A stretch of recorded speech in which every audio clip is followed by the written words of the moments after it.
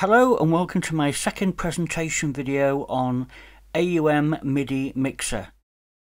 Now this video covers advanced topics, so if you haven't seen my previous preview video, I suggest you go away and watch that one first. But in this video I want to go over some advanced features, being able to re uh, remote control using two iPads, and some of the features that have been added since the first release. So let's begin by taking a look at how we remote control one iPad from a second iPad using Bluetooth MIDI.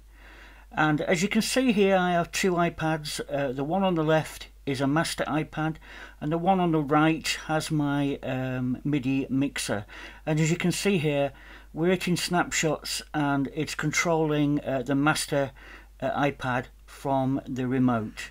So how do we do that? How do we go about doing that? I'm going to describe that whole process uh, to you right now and how to set that up.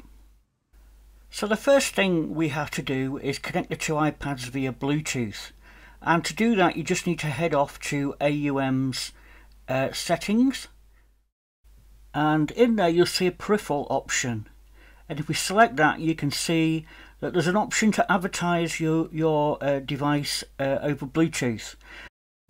Now if this is the first time you've completed this you'll be asked to connect to the remote device. Um, because I've already done this before I can just hit the connect and job done.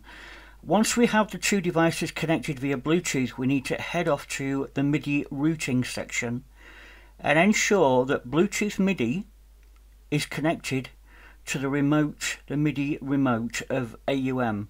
Now we're talking about the slave device here, the, the device we wanted to control. Now I'm going to switch to the second iPad, the one that I want to be my master remote control running the uh, instance of MIDI mixer that controls everything.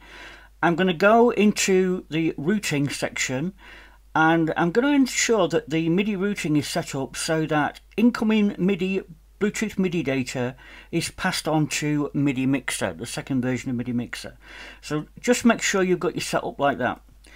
And everything, if you've done everything right, it should just work. So if you've got a second iPad kicking around doing nothing, uh, why not use it as a remote control for AUM? Now one of the great features of AUM MIDI Mixer is the ability to actually capture snapshots and be able to replay those snapshots at the press of a button so we can get smooth fades from one snapshot to the other.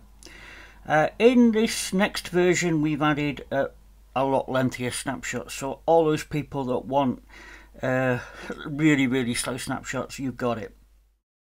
Now in the previous video I talked about this uh, user control lane which was something that was accessible from the MIDI editor which allowed us to uh, paste CC values and those CC values could be used to uh, change pattern on something like DigiStix or DigiKeys. Um, but we only had one user lane. So fast forward to version 1.01 and you'll see that we now have three user lanes to use. And whilst in the previous version this uh, user lane was not backed up by any physical knobs on the interface, we've now added a more convenient way to uh, record automation using a set of knobs. Now the way we get to those is using the uh, mixer layout menu. Now to display this menu just tap and hold on the menu button itself and you'll get three options. Now I've selected the second option from that menu which displays the user 1, 2 and 3 knobs which can be used for inputting automation. Um, it's probably easier doing this than actually editing on the graph. Now the third option just uh, shows you long faders instead of the default layout. Now although AUM MIDI Mixer uses the default values that AUM sets up for controllers, um, there might be times when you need to change that and now we have a MIDI settings dialog that allows you to configure these controllers how you wish. There's also a quick settings button that allows you to switch between two sets of controllers and this is useful if you want to host two different MIDI mixers within the same AUM session. Now you can also tap on these three buttons under the user 1, 2 and 3 knobs and configure them with a more user friendly name which will be displayed throughout the um, MIDI uh, mixer uh, interface. So if you um, label these up, don't forget to press save to save those settings.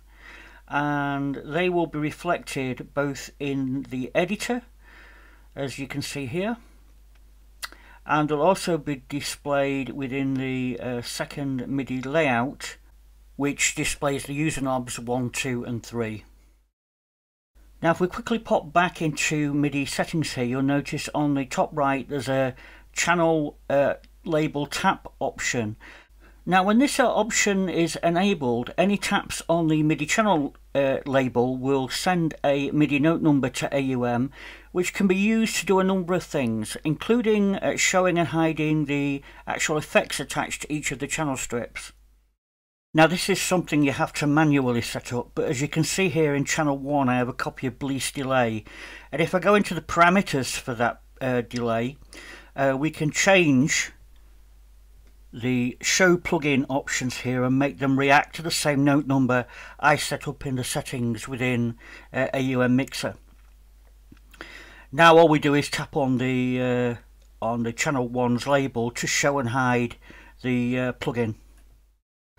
Now the final thing I want to mention here is the fact that uh, if you run MIDI Mixer in standalone mode uh, there is an option displayed which will allow us to uh, load one of the default AUM MIDI sessions that we ship with.